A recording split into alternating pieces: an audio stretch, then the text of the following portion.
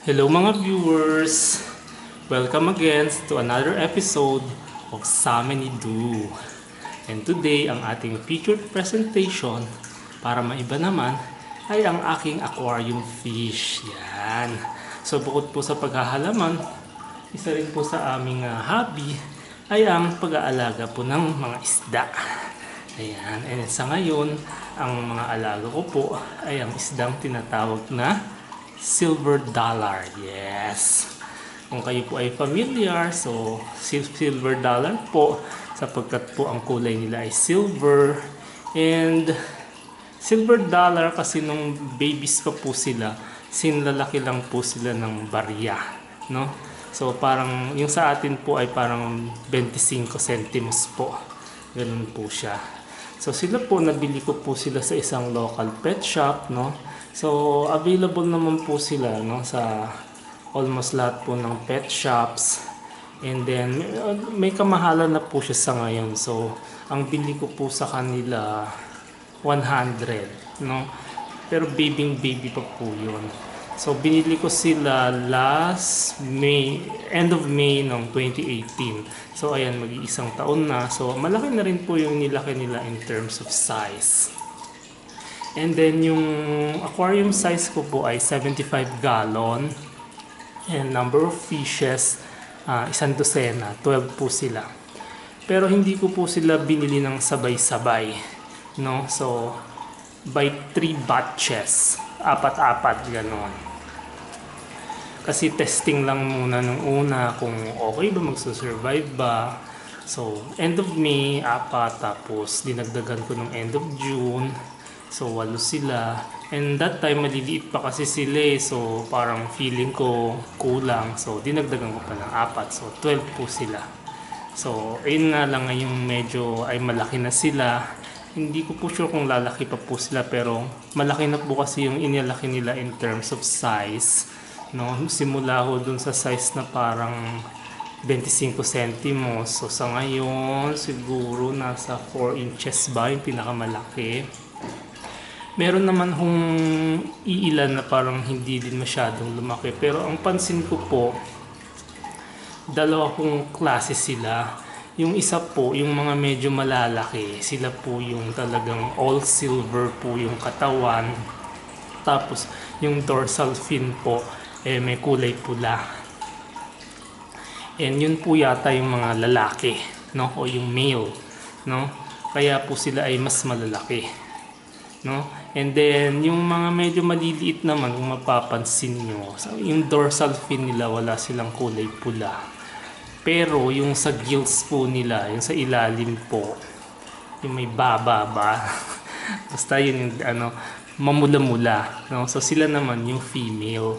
O, tapos yung female, mamula-mula yung sa may baba, tapos, yung iba, yung buntot, no? Yung buntot sa likod, namumula-mula din. So, sila po yung, sa tingin ko, ay female.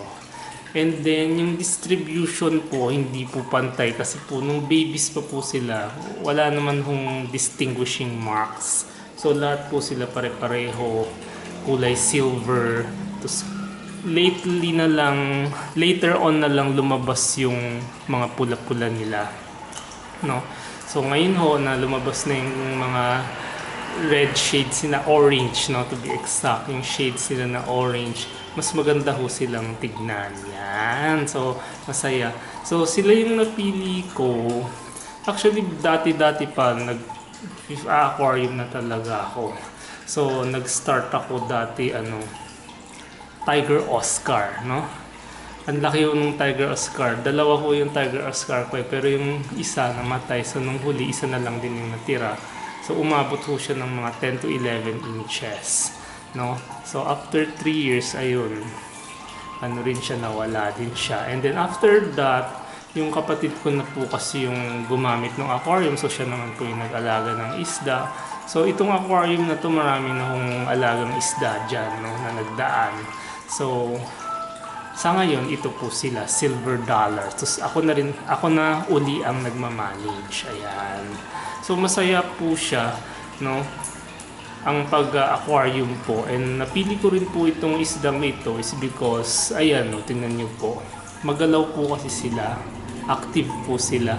So, ayan, paikot-ikot, ganyan. Meron po kasing isda na pag nasa aquarium, nasa isang gilid lang, eh, hindi ko masyadong bet yung ganun eh. Mas gusto ko po yung ganyan na paikot-ikot. Paikot-ikot kasi po ay ah, syempre masayang tignan, no? Saka ibig sabihin, syempre happy sila. So, ayan. So, yun isa ho sa magandang katangian nitong silver dollar. Talagang ah, very active sila. Although meron namang times of the day na ay nagpapahinga rin siguro sila sa nasa isang sulok, nasa isang tabi, no? Yung isa lang na hindi ko masyadong ano, o hindi naman masasabing negative ano, pero magugulatin kasi sila, no? So iwasan niyo ho yung lapit ng lapit sa aquarium. Magugulutin sila, so inuuntog nila yung sarili nila sa doon sa walls ng aquarium. So, mag-iingat po kayo, no? And then, aside from that, okay naman po. Kasi pag nauuntog po sila sa aquarium, maaari po silang masugatan, no? So, mag-iingat po tayo. So, kung napapansin nyo rin, bare po yung aquarium, wala po akong mga dekorasyon. Eh, yun po yung isa sa dahilan.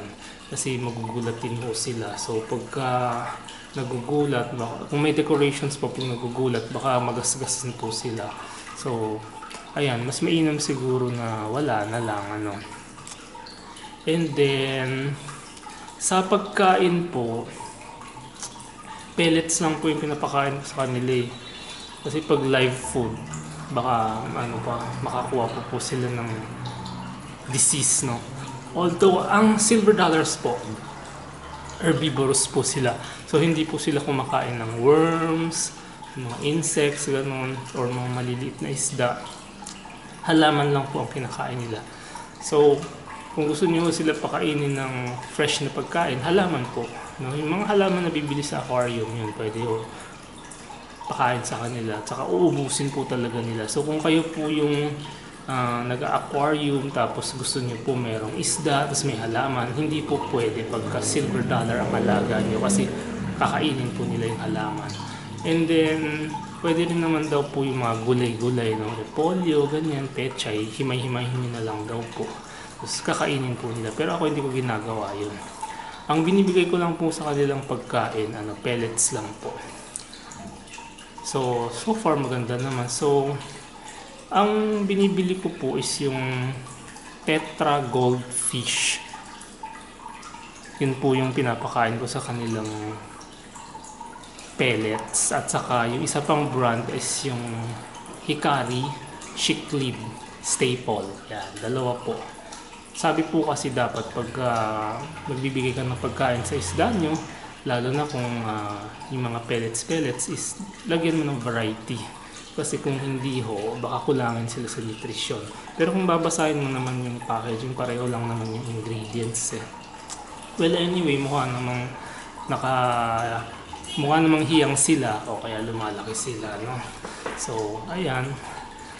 Ang water change naman, once a week, I do water change. 50%.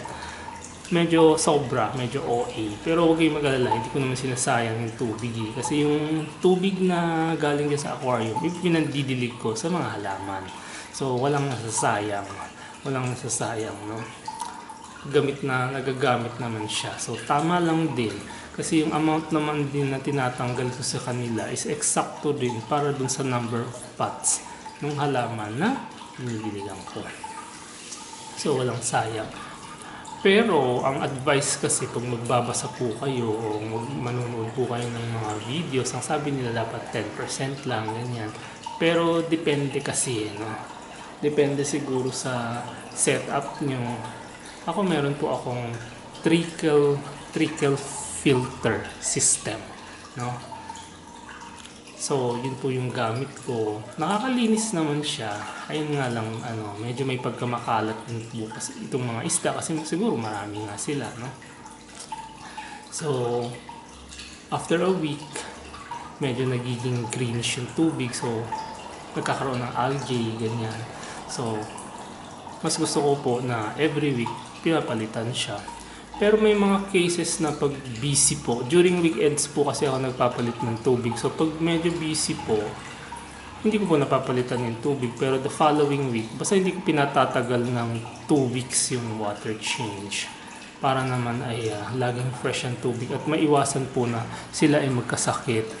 Actually sa ngayon po, yung isa po dyan sa gilid, pero hindi na siguro makikita sa camera.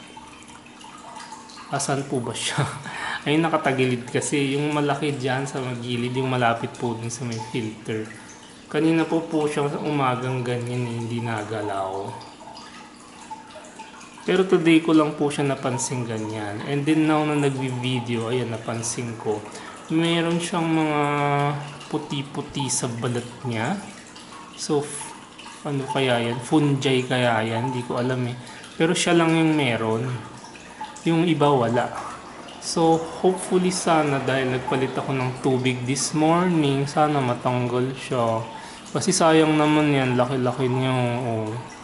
Tapos, ganyan kasi, signs kasi yan na hindi, hindi okay yung isda niyo is kapag ka nasa isang sulok lang siya. So, kanina pa po siyang ganyan.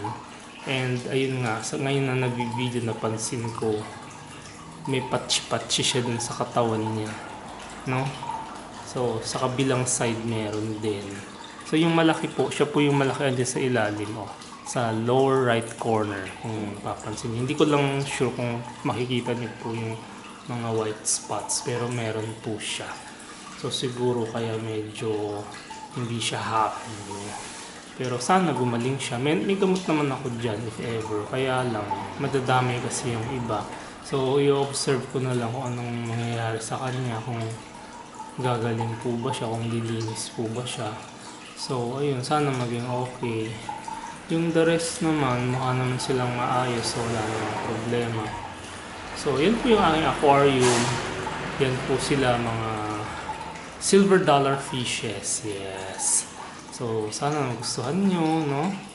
So, if you like this video, so you like and share, please like and share. And kung hindi pa po kayo nakakapag-subscribe, mag-subscribe po kayo dito sa aming channel. And i-hit nyo rin po ang notification na button para kayo po ay maging updated sa ating mga kwento-kwento, no? So, ngayon, ah, bukod sa mga pag-aahalaman, so meron na ho tayong bago pang topic na pag-uusapan. Yan po ay ang pag-aquarium. No?